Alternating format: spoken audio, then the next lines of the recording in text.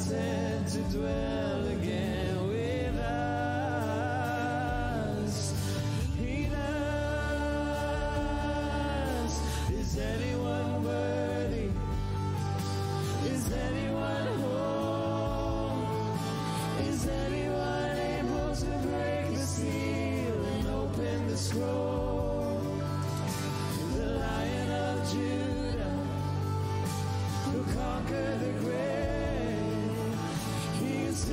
is the to ransom the slaves. Anyone worthy?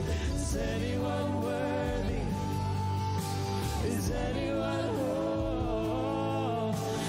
anyone able to break the seal and open the scroll?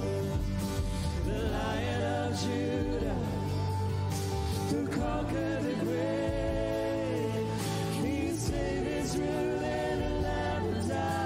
to ransom the slave.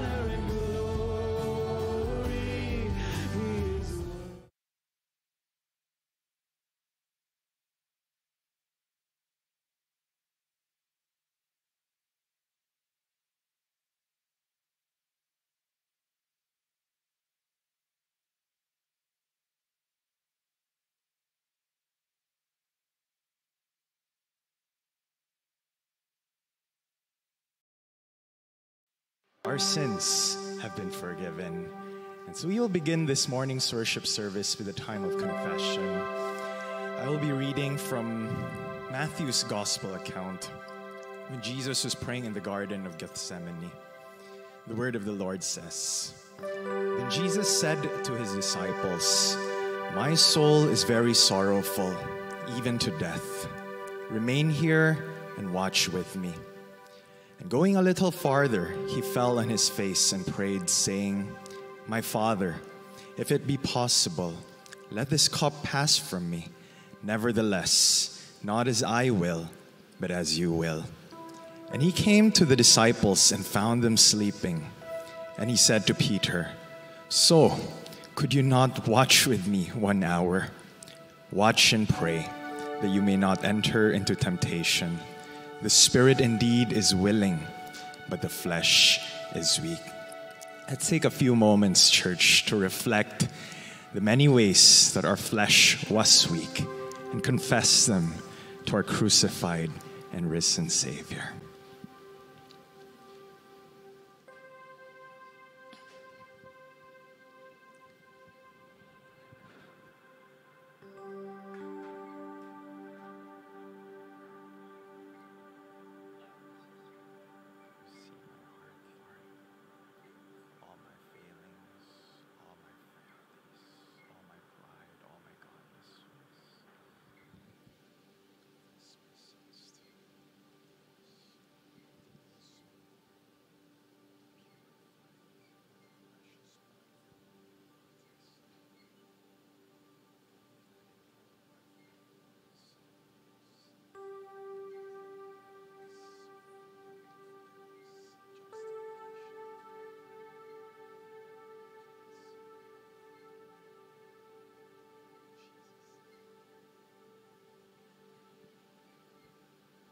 As we have confessed our sins to the Lord, church, receive this assurance of grace. After this, Jesus, knowing that all was now finished, said, to fulfill the scripture, I thirst. A jar full of sour wine stood there. So they put a sponge full of the sour wine on a hyssop branch and held it to his mouth. When Jesus had received the sour wine, he said, It is finished. And he bowed his head and gave us his spirit. Are you excited to worship the Lord this morning, church? Amen. You don't sound like it, guys. If you're excited to worship the Lord this morning, let's give the Lord a big clap of praise. I mean, Good Friday is done, it's resurrection. So you can clap louder than that, church. Can I request everyone to please stand as we prepare our hearts to worship the Lord? Luke 24, verse 1 to 6 says here On the first day of the week at early dawn, they went to the tomb, taking the spices they had prepared. And they found the stone rolled away from the tomb. But when they went in, they did not find the body of the Lord Jesus. While they were perplexed about this, behold, two men stood by them in dazzling apparel. And as they were frightened and bowed their face to the ground, the man said to them, Why do you seek the living among the dead? He is not here, but he has risen. Amen. Oh, give the Lord a louder pra- praise, church. Now, guys, before we go to sing our songs, allow me to share what Edmund Chan have shared to us during the IDMC. It's a story about a kid playing with the hustler. You know, they were playing a chess game, okay? Now, when the hustler was about to beat the little boy, there was a grandmaster you know, who passed by the, their game. And he saw the chess, the grandmaster whispered something to the little boy. Now, while everything was seemed lost, no, while everything was was like the hustler was winning against the little boy, the little boy moved his king and eventually won the game. Now, after that, people were asking the grandmaster, What did you teach the little boy? How did he overcome such an impossible feat? Now, this is what the grandmaster said As I've studied the game, I found out that the king has one more move. And, church, that one move of the king totally changed the game. Now, friends, while the kingdom of darkness thought that they were winning, while everything seemed lost for the salvation and redemption of humanity. Our King, King Jesus, has one more move because on that resurrection Sunday, his lifeless body began to breathe. Oh, he is risen and he's alive forevermore. If you believe that, church, give the Lord a big clap of praise. Hallelujah, hallelujah, hallelujah. Oh, Lord Jesus, we worship you, oh God, for you alone deserve all worship, Lord. You are risen and you're alive forevermore. And we just want to give you our praise, oh God. So, Father, as we gather this morning, may we receive the praise of your people. This is our prayer in Jesus' mighty name. Amen and amen and amen. Let's make a joyful noise for our King Church. Hallelujah. Come on, let's make a joyful noise, guys. It's Resurrection Sunday. Oh, you can clap louder than that, church. Hallelujah. Hallelujah. Let's make a joyful noise.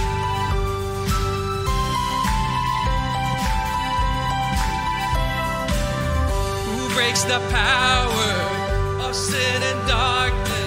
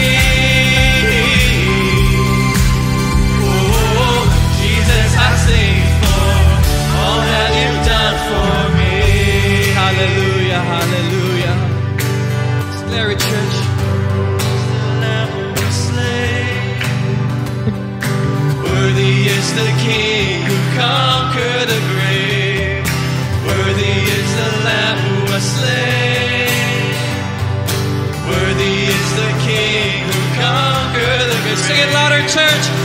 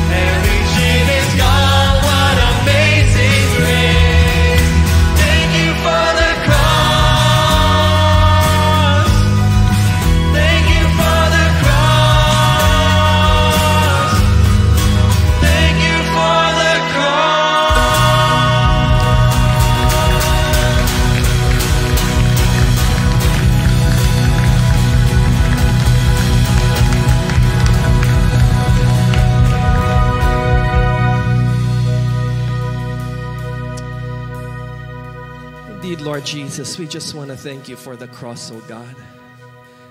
Indeed, Lord, it is finished. Tetelestai, Lord. It is finished. It is done. We are forever yours and you are forever ours, oh God. Well, thank you, Lord Jesus, for your nail pierced hands. Thank you for the crown of thorn, Lord. Thank you for giving your life to us, oh God. We also want to thank you today, Lord Jesus, for the empty tomb, Lord. You're risen, oh God. You're alive and you're alive forevermore. King of glory, King of kings, and Lord of lords, Prince of peace. Oh, we worship you, oh God. Oh, we bless your holy name, King Jesus. Hallelujah. Hallelujah. He was despised and rejected, a man of sorrows, acquainted with deepest grief we turned our backs on him and looked the other way. He was despised and we did not care. Yet it was our weakness he carried, it was our sorrows that weighed him down. And we thought his troubles were a punishment from God, a punishment for his own sins. But he was pierced for our rebellion, crushed for our sins. He was beaten so we could be whole. He was whipped so we could be healed. All of us, like sheep, have strayed away. We have left God's path to follow our own. Yet the Lord laid on him the sins of us all. What a blessed Savior we have. Thank you, Jesus. Hallelujah. Hallelujah.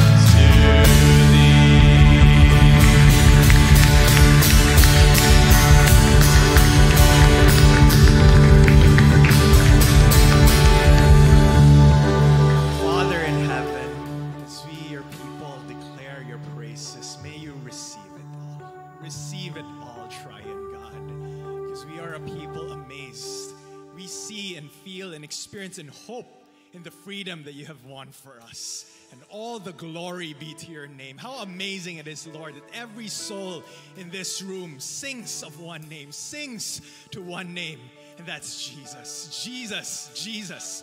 And Lord, we pray that as individuals and as a church, we will be a people all about Jesus. From the moment we wake up in the morning to the moment we retire at night, and every breath in between, by your Spirit, make us a people about Jesus. A people who, as we gather here week in, week out, a people who will never grow tired, who will never be able to exhaust the glories of Calvary, the glories and the triumphs of our Savior King.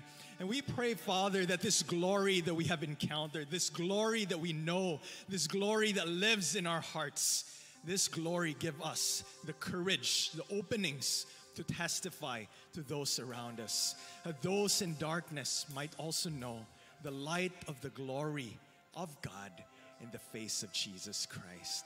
So, Lord, do everything it takes to make each of us more of Jesus, more about Jesus in our lives.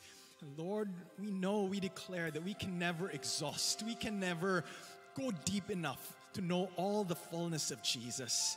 Yet every day is a sweeter day because it's a day of knowing Jesus more and more. So, Lord, we are all about you, all about you, all about you, Lord.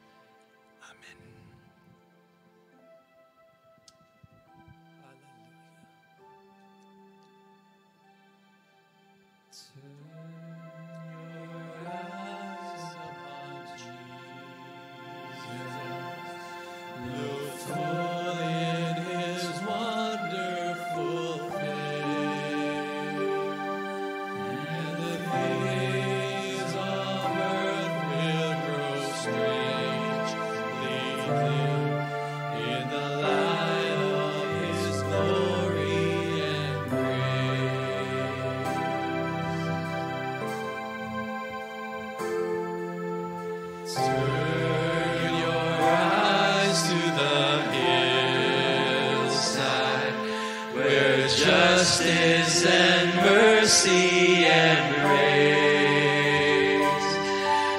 the Son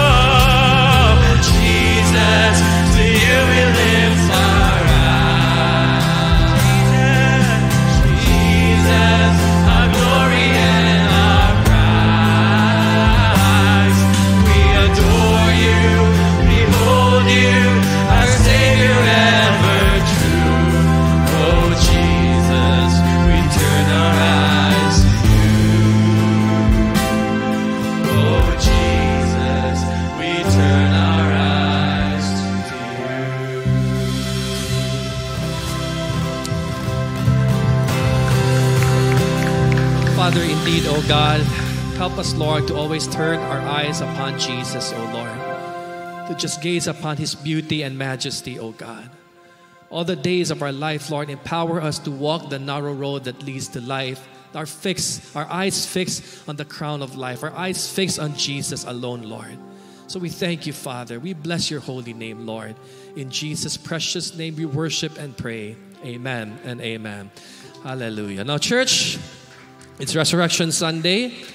Before you take your seats, just go around the place and greet at least five people. Happy Resurrection Sunday, okay? If you don't reach five people, you're not allowed to sit down. At least five, guys.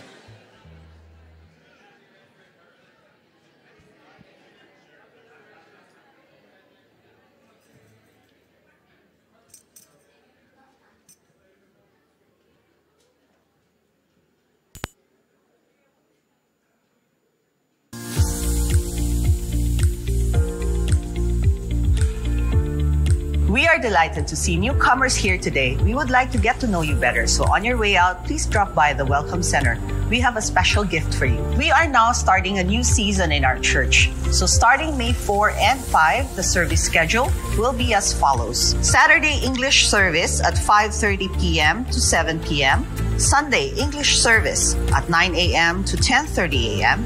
Sunday English service at 11 a.m. to 12:30 p.m. Sunday Cebuano service at 2 p.m.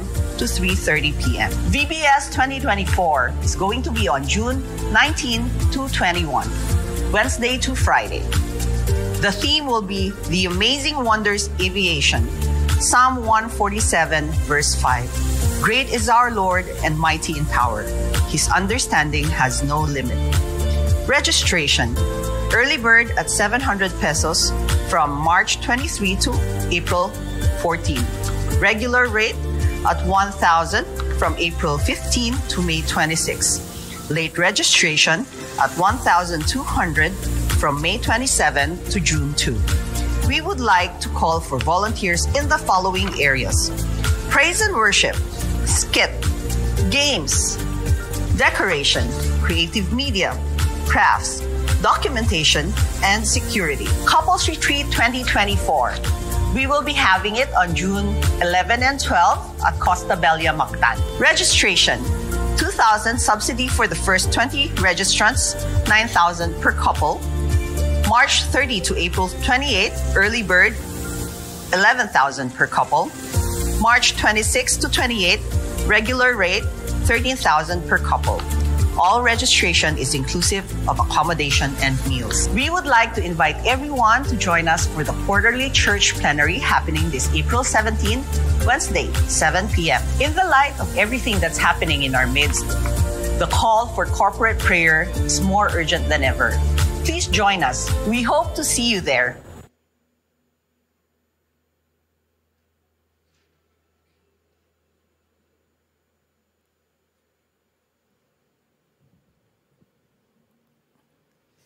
Morning, church.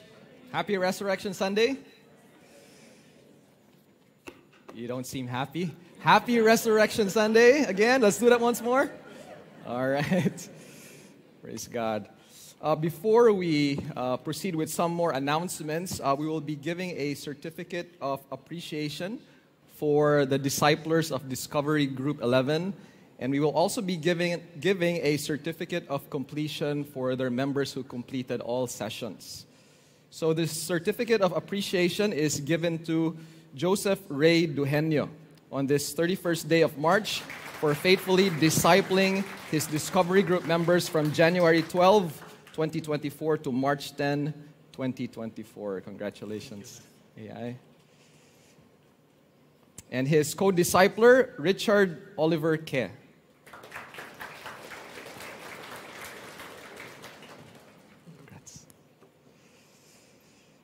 I'll be calling their members Nathan Scott Urhel. All right. Congratulations, Nathan. Uh, they will be receiving a, a study Bible as well. Chris Luis Marcojos.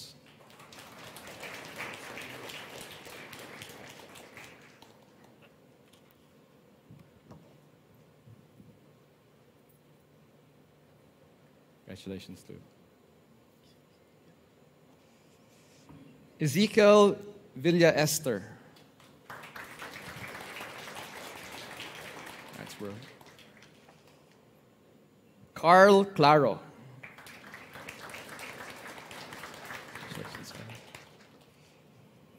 Wilmer Paulo Lopez. Congratulations. All right, so uh, we'll just take one quick group picture. Join us, Nige.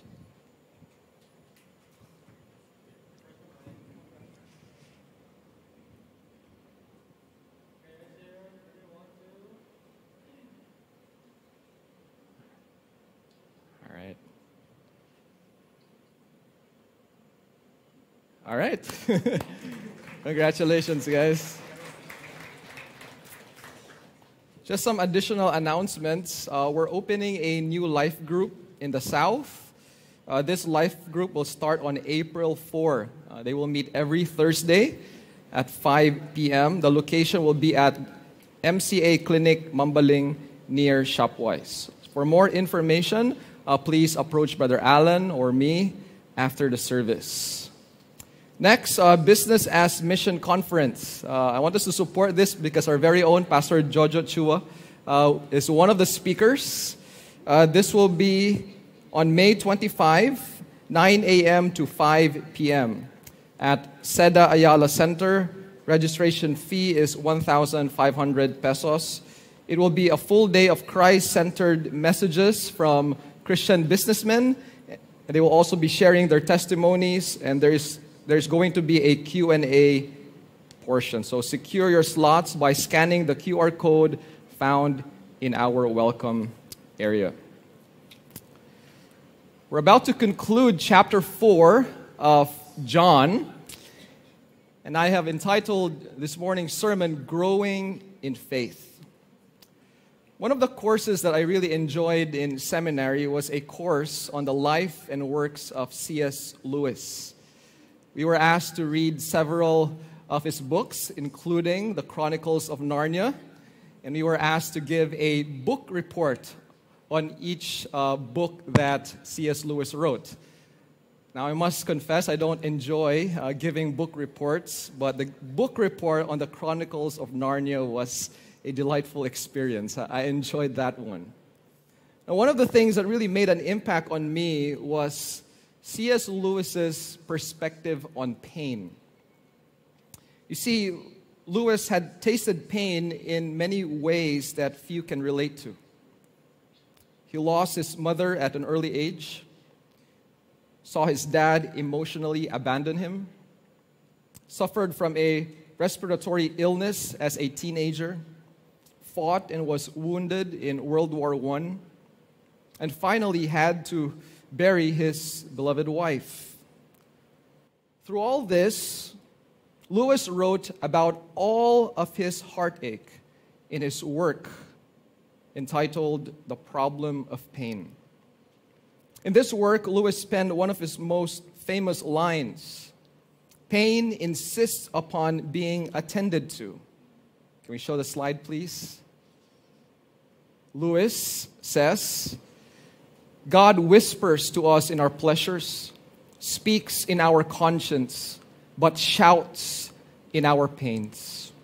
It is his megaphone to rouse a deaf world. You see, C.S. Lewis became keenly aware of God's character and ways in his suffering. And I learned that it is when our self sufficiency is peeled away that we see how weak we really are. It is in that moment of weakness that, as God tells Paul in 2 Corinthians 12 9, my power is made perfect in weakness. Beloved, it is in our pain that God allows us to experience His power most intimately. Can you think of situations in your life where God used pain to bring you closer to Him? I'm sure we can think of some, right? For Christians who have experienced pain in life, you can attest to this truth that God shouts to us through our pain. and reminds us that we desperately need Him every single day of our lives. Hence, in the Christian life, we have learned that God often uses pain and suffering to get us to seek Him in ways that we never would have done if the crisis had not occurred. And the good news is the Lord graciously meets us at our point of crisis. But I want you to know that that's just the beginning.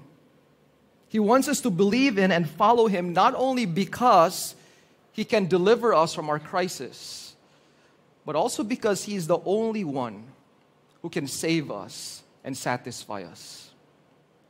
And He wants us to know that He is worthy of our trust because of who He is. You see, this is the truth that Jesus wants the royal official to believe in our text. Now, what I would like for you to notice as we go through this section is the way Jesus skillfully drew this man into a deeper level of faith. In our text today, Jesus accomplishes this miracle in a way that enhances the official's faith from believing that Jesus could heal his son to believing that Jesus could save. So, in reverence for God's word, let us now stand and read our text in John chapter 4, 43 to 54. The Word of God says, After the two days he left for Galilee. Now Jesus himself had pointed out that a prophet has no honor in his own country. When he arrived in Galilee, the Galileans welcomed him. They had seen all that he had done in Jerusalem at the Passover festival, for they also had been there. Once more, he visited Cana in Galilee, where he had turned the water into wine. And there was a certain royal official whose son lay sick at Capernaum.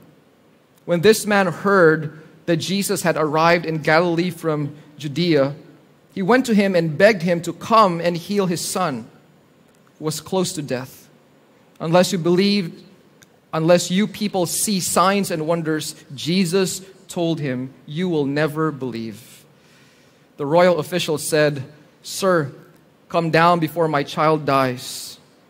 Go, Jesus replied, Your son will live. The man took Jesus at his word and departed. While he was still on the way, his servants met him with the news that his boy was living. When he inquired as to the time when his son got better, they said to him, Yesterday, at one in the afternoon, the fever left him. Then the father realized that this was the exact time at which Jesus had said to him, Your son will live. So he and his whole household believed. This was the second sign Jesus performed after coming from Judea to Galilee. Let's pray. Father in heaven, we thank you for giving us this opportunity to celebrate the resurrection of your Son because he lives and lives forevermore, we know that our salvation is secure in him and that our faith in him is not in vain. And Father, as we study your word and see this sign that your son performed, help us see that you are the God who is interested about our growth in the Christian life. You want us to grow in faith as we encounter trials of various kinds. So, Lord, show us the way. Show us the way to grow through this text. Be glorified in Jesus' name. Amen. You may be seated.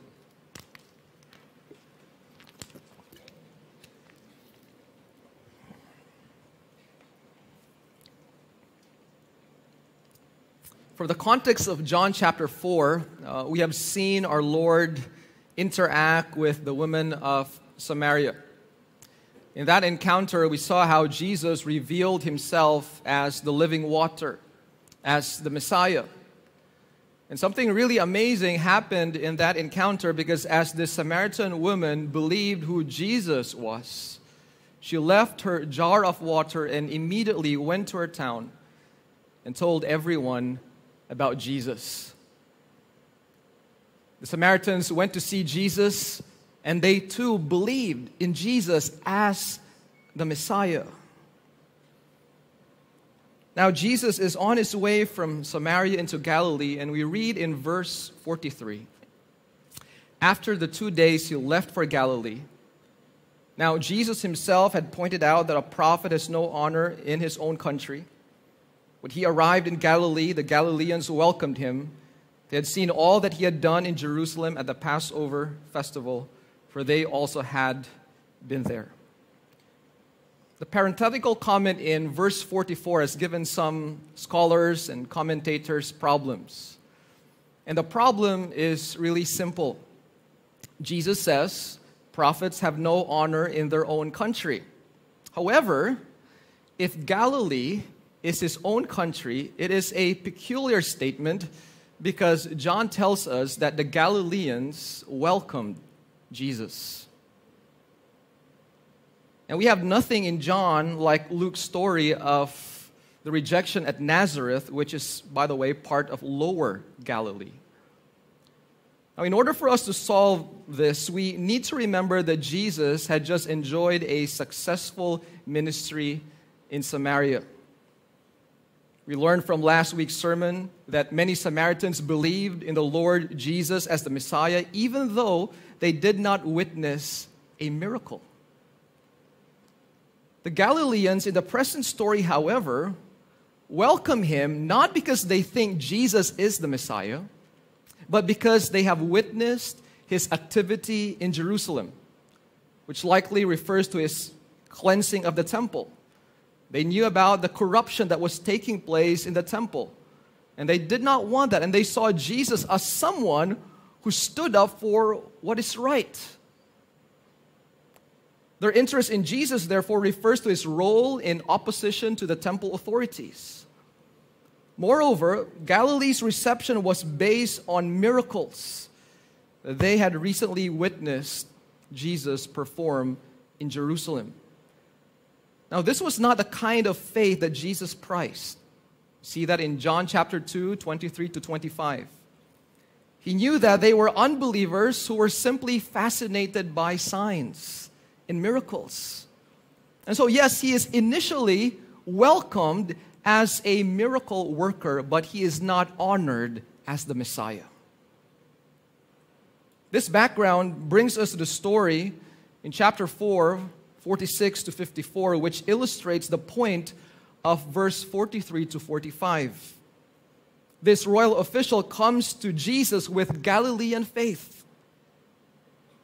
He's not coming to Jesus because he is seeking for forgiveness or salvation. He is coming to Jesus because of a personal crisis. His son is sick and is about to die.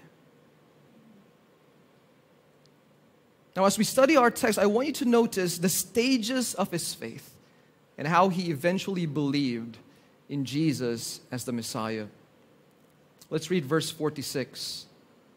Once more, he visited Cana in Galilee, where he had turned the water into wine.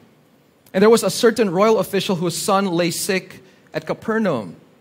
When this man heard that Jesus had arrived in Galilee from Judea, he went to him and begged him to come and heal his son, who was close to death. The Greek word for royal official is the word basilikos, sometimes rendered as nobleman. This title refers to some official attached to the service of a king. And so he provided government service for Herod Antipas, who was not really a king, though he did belong to the royal house of Herod the Great and was sometimes referred to as a king. You find that in Mark 6:14. Being a government official, this royal official was a man of wealth. He was prosperous. He had status. He obviously had the means to bring in the best physicians to treat his son's serious illness. And he probably had sought all of the physicians in Capernaum, but they had not been able to help. And he had grown desperate. This official probably heard about the signs and miracles that Jesus performed. Maybe he knew about the miracle that Jesus performed at Cana where he turned water into wine. And so, because he's desperate and he hears about that this miracle worker is in the vicinity, he travels 20 miles from Capernaum to Cana just to give this request. John tells us he went to him and begged him to come and heal his son who was close to death. Now, the verb tense that John uses in the original Greek indicates that he was repeatedly imploring, he was repeatedly begging Jesus to come down and heal his son. Now, I'm sure every time Jesus went to a town, there was a large crowd gathered around him. And they too wanted Jesus to heal their sick loved ones. But this guy stood out because he was persistent. He didn't just make this request once Jesus, could you come and heal my son? He repeatedly, continuously begged Jesus to come. There's a sense of urgency and desperation that we see in this man. Every parent who has had a very sick child knows the anxiety that this father is feeling right now. By the way, the phrase tells us that this is not merely one of the man's sons. In fact, the father in our story uses a Greek term of endearment to describe his son in verse 49. The Greek word for child in verse 49 implies a younger child, perhaps seven years old or younger. This is a child, a little boy whose illness has torn his father's heart so he went to see Jesus and begged Jesus to go home with him. Now, it is clear from his response that he knew that Jesus had the ability to heal his son. He had faith. But as what we will see, his faith, as what theologians would say, is called partial faith. He believed that Jesus is a great miracle worker who can heal his son, but he did not believe that Jesus is the Messiah. And Jesus knew that. And so, as he heard this urgent request from the Father, Jesus does not give an answer that directly addressed the request. Now, you would think if Jesus really cared about this Father, he would say, Okay, let's hurry up. Let's go. Show me the way. Let's go immediately. I want to see your son so I could heal him. You would expect Jesus to say those words.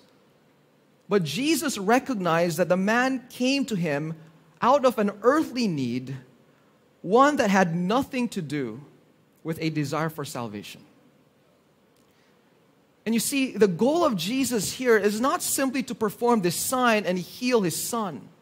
The ultimate concern or the ultimate goal of Jesus is this he wants this royal official to move from partial faith to saving faith. And he is going to help this man reach that point of salvation. So he responded, Unless you people see signs and wonders, Jesus told him, You will never believe. Jesus' rebuke was not only directed at the man, but also at the Galileans who were there. How do we know that? Well, in the original Greek, the word you is in plural. So it's not just referring to this royal official, but also to the other Galileans who were gathered around him. If Jesus used modern language, he'd probably say, y'all. Um, y'all people, uh, y'all, right? Unless y'all see signs and wonders, Jesus told him, you will never believe. These Galileans don't really believe in him as the Messiah. They simply are just waiting for Jesus to perform another sign because perhaps some of them would just want to be entertained. Now, while Jesus used this opportunity to confront the Galileans of their unbelief, he also saw this as an opportunity to help the man see his greatest need. Yes, he has a personal crisis. He has a need. His son is sick and is at the point of death. He desperately comes to Jesus asking Jesus to come with him so that he could heal his son. He has a personal need, but God uses this personal need to show him his greatest need. Now, for some of us, maybe that's, that, that was one of the ways that God drew us to himself. Before your conversion, you had a personal crisis. You were going through a tough time and you hear about Jesus. Maybe a Christian friend told you that Jesus is full of grace and truth, He is full of compassion. So you took your chances. Maybe you attended a Bible study or attended a worship service like this. You had a personal need and you were desperate and you were asking God to meet your need. But in the process of asking God to meet your need, you discover your greatest need, which is salvation and you come to faith and are saved.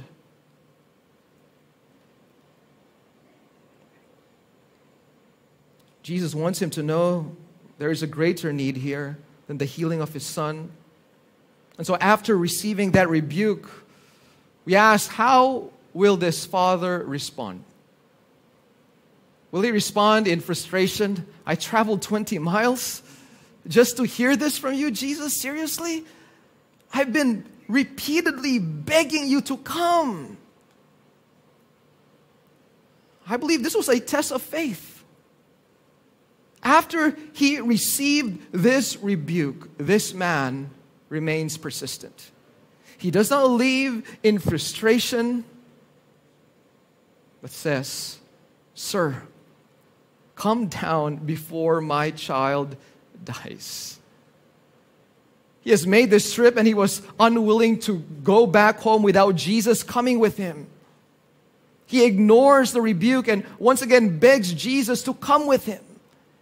It is as if he was saying, I don't want to get involved in discussions about theology. Jesus, please come. My son is dying. That's all I ask. Please. His faith is seen in his persistence. However, we see something wrong in the way he expressed his faith.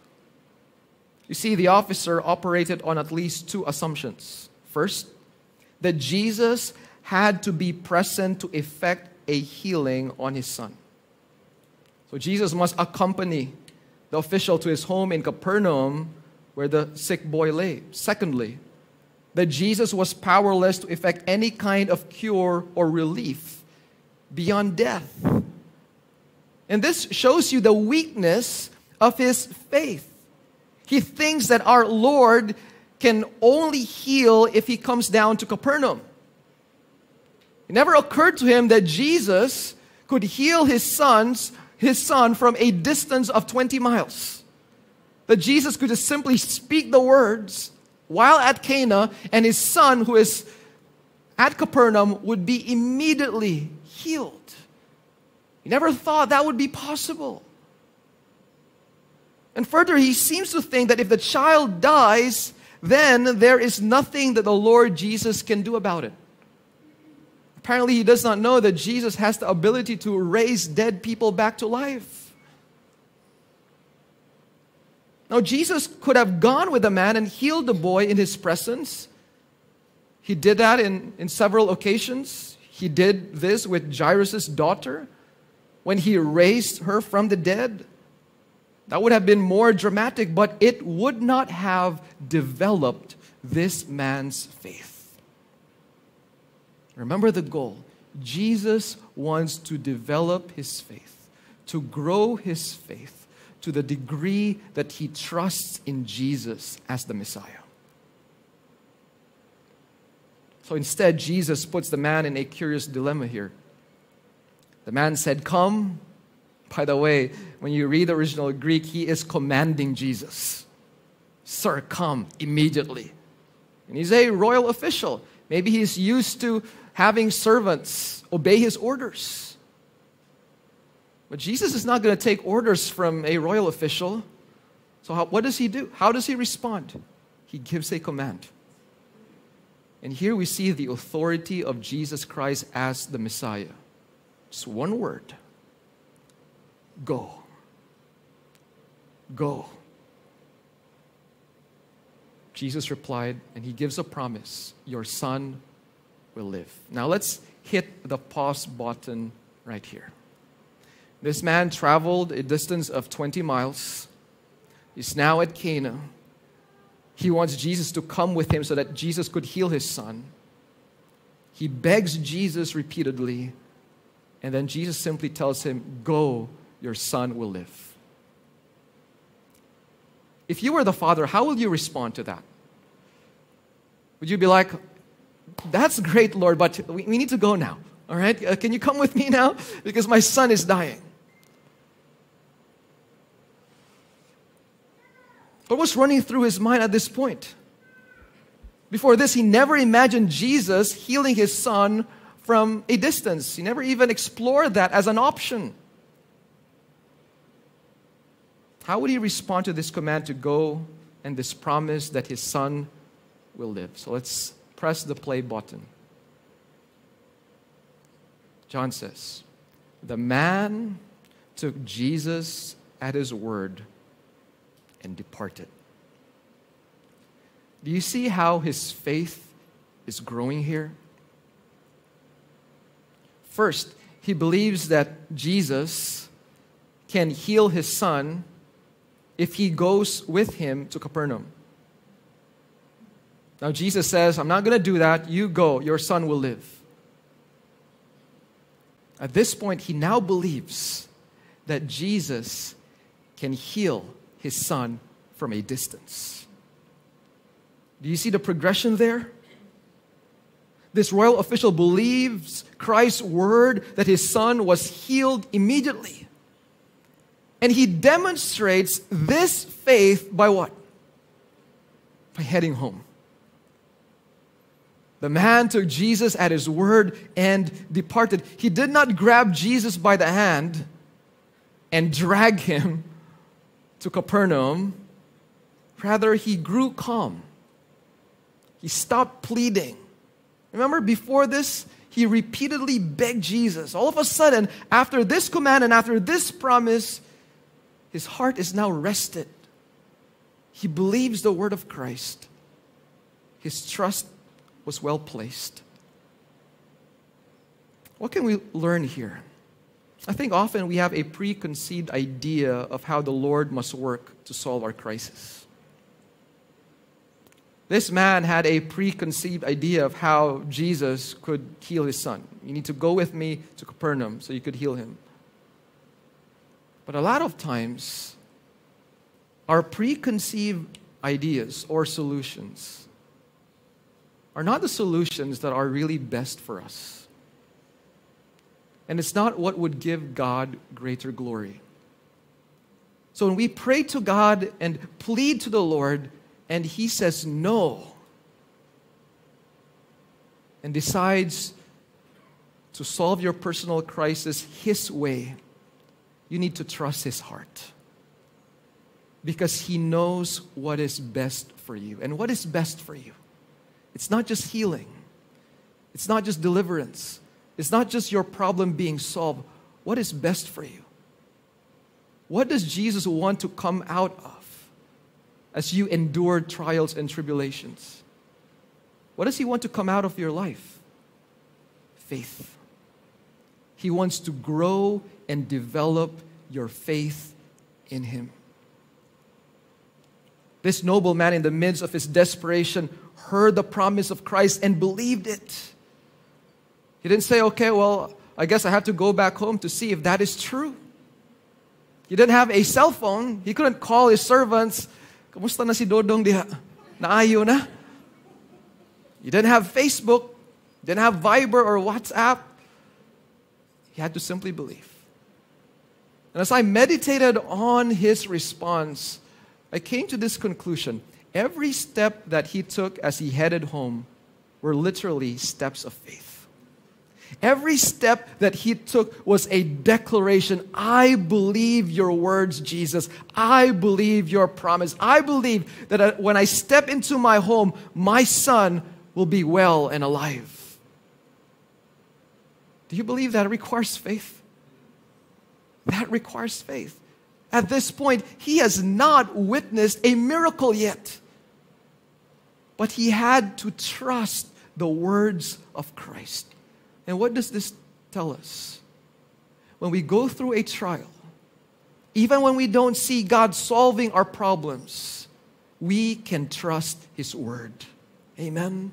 We can trust His promises. He believed that Jesus healed his boy at a distance instead of traveling to Capernaum.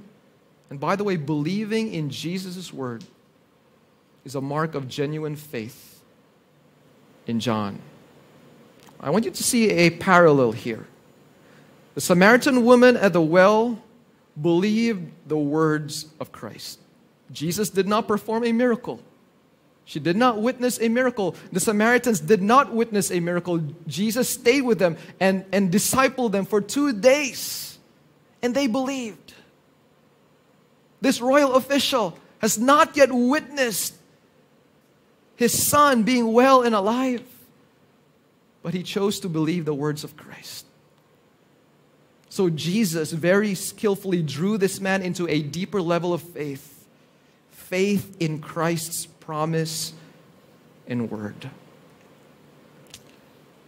Verse 51 says, While he was still on the way, his servants met him with the news that his boy was living. On hearing the good news that his son lives, the royal official believes it and goes down to Capernaum. The man did not see immediately that his son was living, but he gave full credence to the words of Christ. This was the kind of faith that Jesus was always seeking acceptance of his word or testimony without hesitation. Without even seeing a miracle, he believed and thus he became a model of faith. I know people in the world say to see is to believe. I haven't seen Jesus with my own eyes. You claim that your Savior rose from the dead after three days. Well, I haven't witnessed that. We have no video recording of Jesus being raised to new life. So I refuse to believe.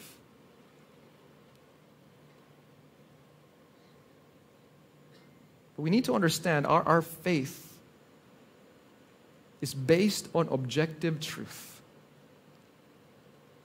Historical records prove that Jesus rose from the dead. In fact, Josephus, a Jewish historian, was not a follower of Christ, still chose to record the resurrection of our Lord.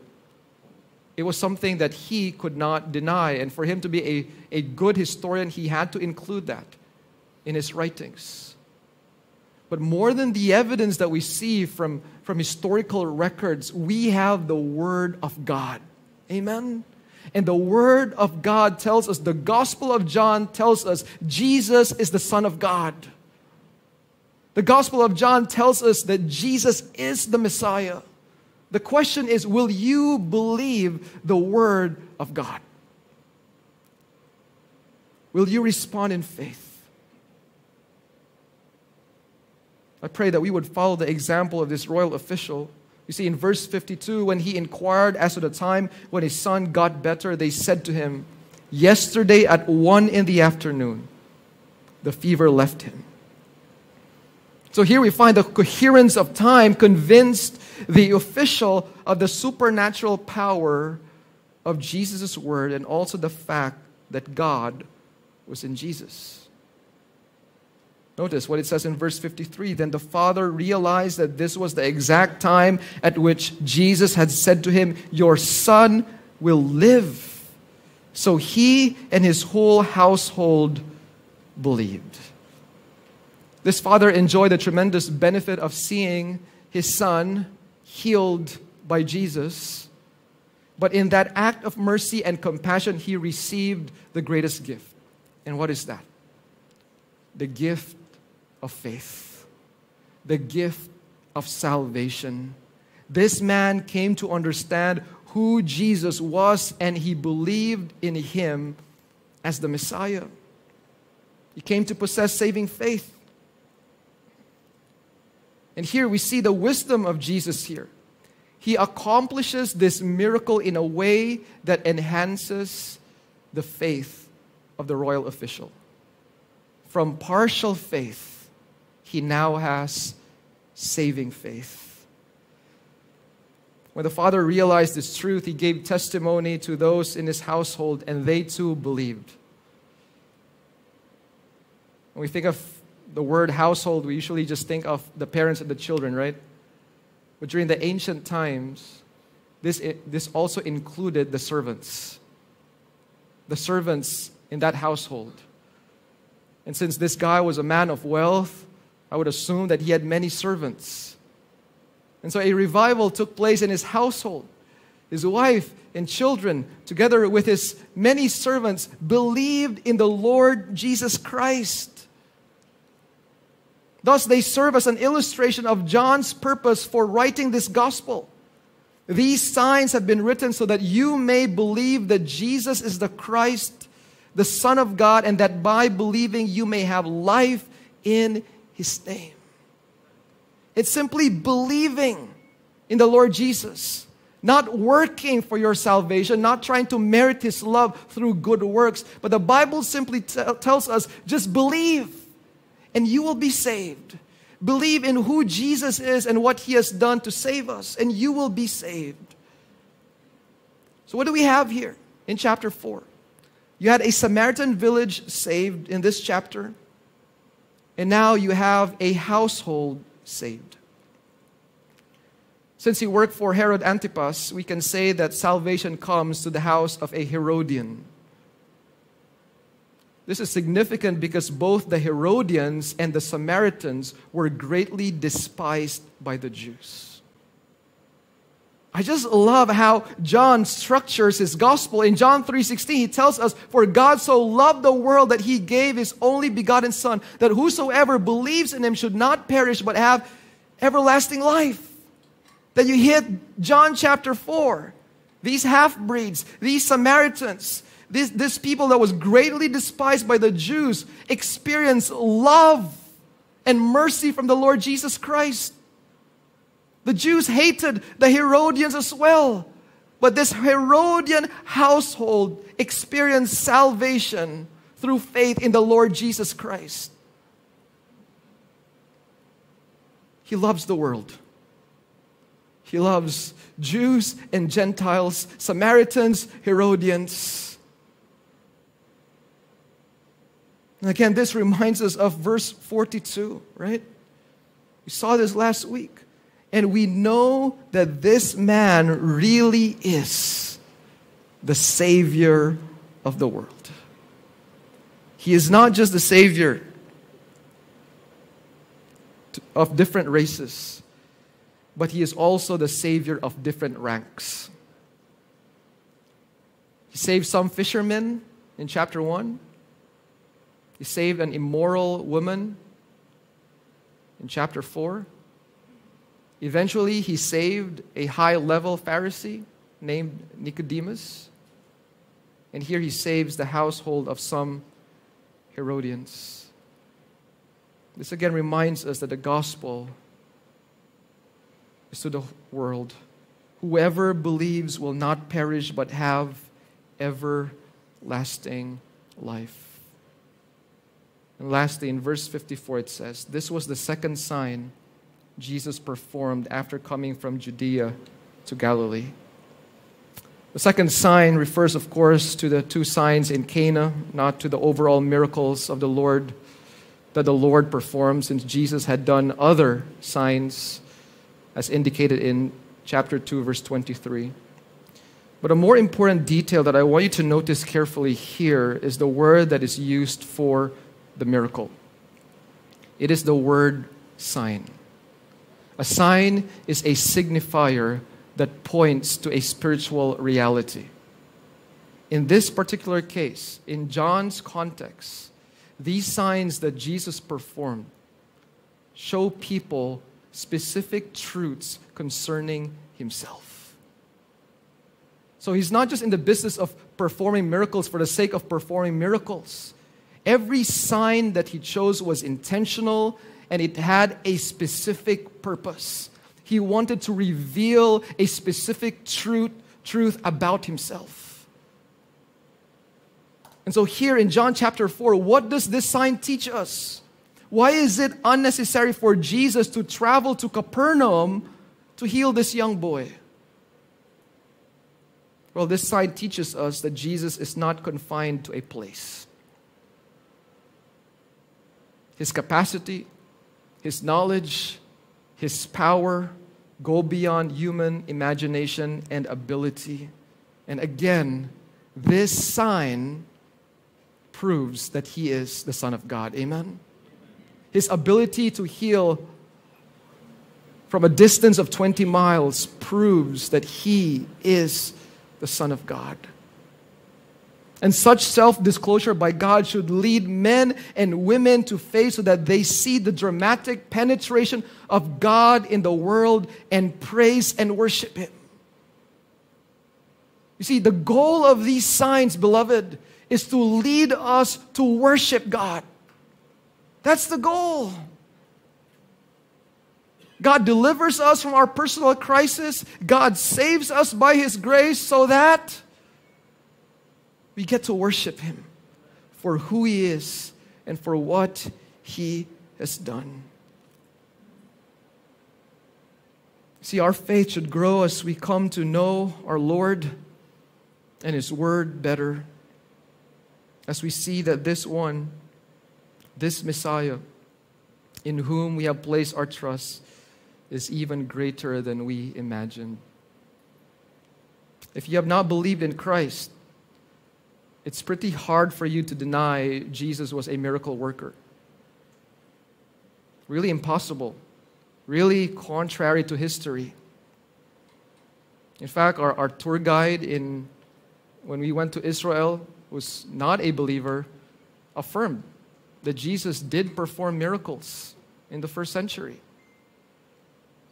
If you have not believed in Christ, it's hard to deny those signs that he performed.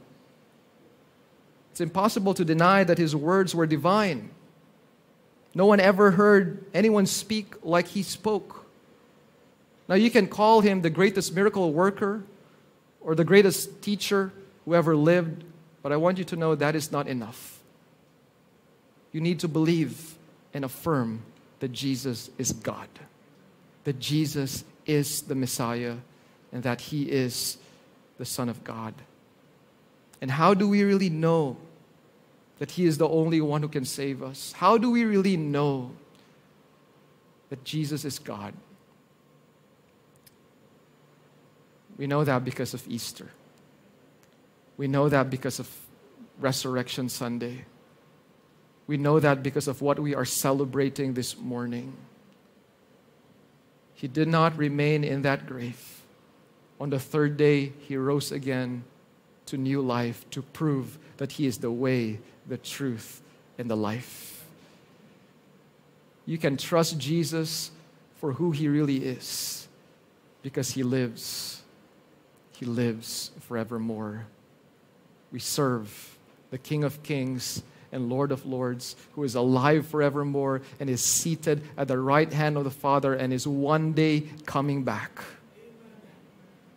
to establish God's kingdom on earth. So, do you believe in Jesus? If you have not believed in Jesus, today is the day to do that. Believe, and you will be saved. Let's pray.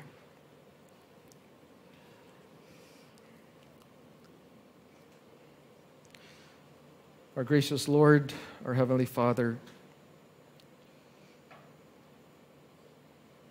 this section in John's Gospel has defined for us what saving faith is all about. It's not about simply being fascinated by the signs and miracles that your son performed. Saving faith is trusting his person, his very words and his death on the cross as the payment for our sins. Father, if there is anyone here who is like the royal official who has a personal crisis and is desperate for deliverance, I pray that you would use that person's pain to lead him or her closer to you. And as you grow the faith of that individual, I pray that that person would transition from partial faith to saving faith. That that person would recognize that his greatest need is not physical healing, it's not financial stability, but eternal life and forgiveness that can only be found in Jesus. For we know, God, everything that we own, everything that we have in this world will be left behind when we die. We won't be able to bring a single cent with us when we die. But if we have a relationship with you, we can bring that relationship. For our relationship with you will never be broken. We will never be separated from you. Either death, principalities, forces of darkness, all these things cannot separate us from your love. And we know, Lord, our faith in you is not in vain. Because Jesus, you rose from the dead and you live forevermore. And we celebrate your life, your death, and resurrection this Resurrection Sunday. We thank you for proving to us through the signs that you performed, through your death and resurrection, that you truly are the Messiah, that you truly are the Son of God.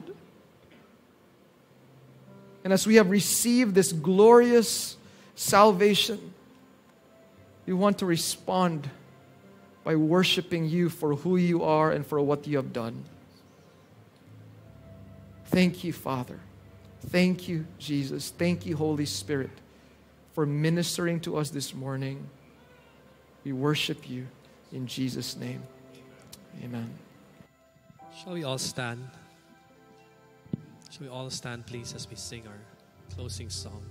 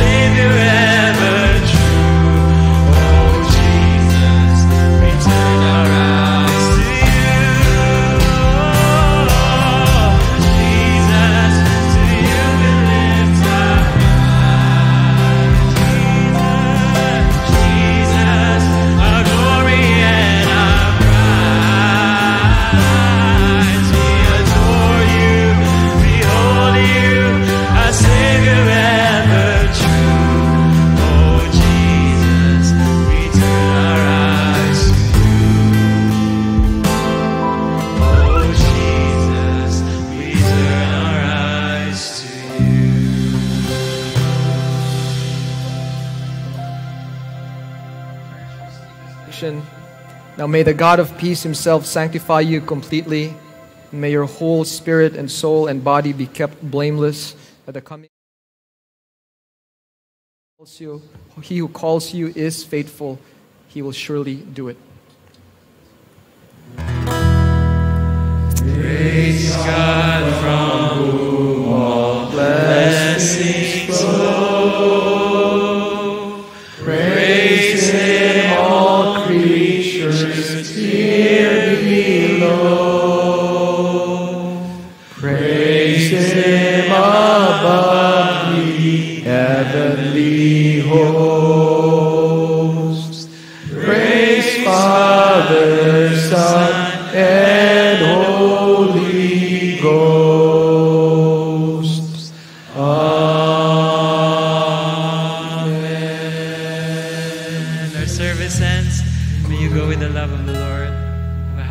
Resurrection Sunday, everyone.